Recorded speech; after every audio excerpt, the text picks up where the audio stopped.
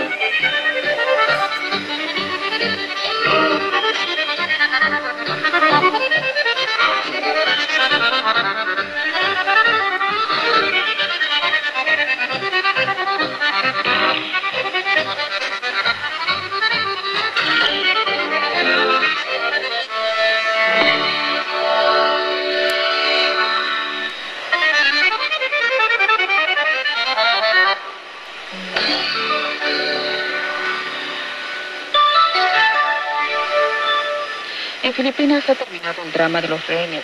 El malhechor que los secuestró fue muerto. El lunes en el centro de Manila, el exoficial de la policía Rolando Mendoza secuestró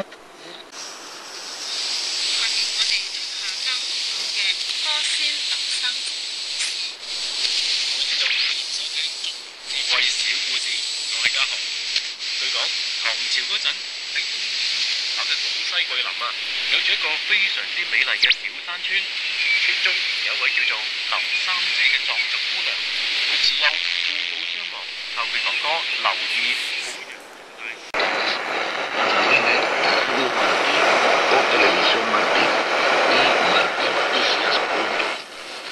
No se deje llevar por rumores. Si vive cerca de ríos, arroyos o en la costa, infórmese del plan de evacuación de su zona. Recoja la basura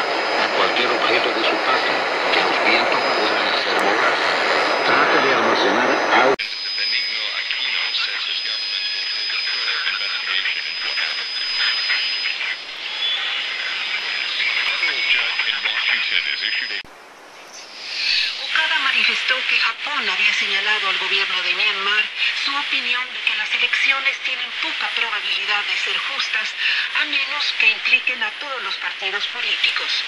El canciller tailandés Gasit afirmó que su país acoge con beneplácito las elecciones generales en Myanmar, las cuales deben ser justas, acotó el canciller. Por otra parte, Tailandia exhorta a Myanmar a liberar a los presos políticos. Kasit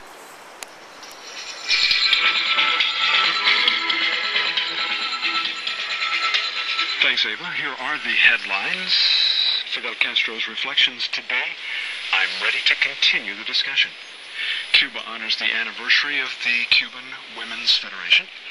Immediate needs in Pakistan exceed international support, and Israel and Palestinian Authority confirm direct talks without precondition. And now the news in detail. In his most recent reflections, Cuban revolution leader Fidel Castro discussed the fact that only President Barack Obama is able to prevent a disaster.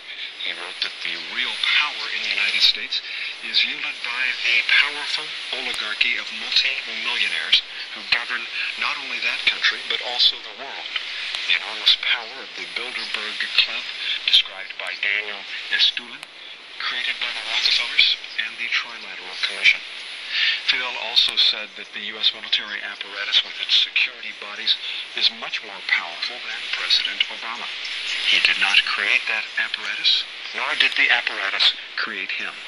The exceptional circumstances of the economic crisis and the war were the main factors that brought an African American, discriminated against, but gifted with culture and intelligence, to the post he now holds. Fidel brought up the significant fact of the U.S. Constitution. It establishes that in all of the country there is just one person who may declare war, and this is now more important than ever since a nuclear war could break out in a minute, and perhaps it may last only one day. Fidel wrote that President Obama prefers to play basketball or to make speeches. Besides, he's been awarded the Nobel Peace Prize. Michael Moore urged him to now earn it. Perhaps no one could have ever imagined, and he least of all, the idea that in this final phase of 2010, if he observes the instructions of the UN Security Council, which perhaps is firmly being urged by a South Korean named Ban Ki-moon, he will become responsible for the disappearance of the human race.